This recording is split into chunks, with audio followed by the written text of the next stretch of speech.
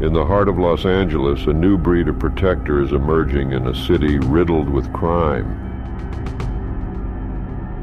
A breed of protector that can be your best friend or your worst enemy.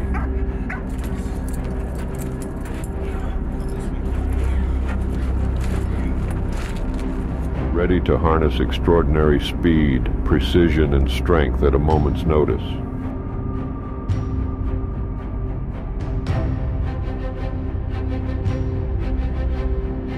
What's up, everybody? My name is Vinny. I'm the head dog trainer here at Delta K9 Academy. So our clients consist mainly of families and individuals who want the premium level of security. So we serviced everybody from sexual assault victims all the way to home invasion victims, victims of violent crimes, robberies. Anyone in Los Angeles will tell you it's pretty crazy right now. Avenue, the after expend word out to visit. So having a canine like this is a great sense of security. I know if somebody do, were to attack me, my dog would take care of business immediately.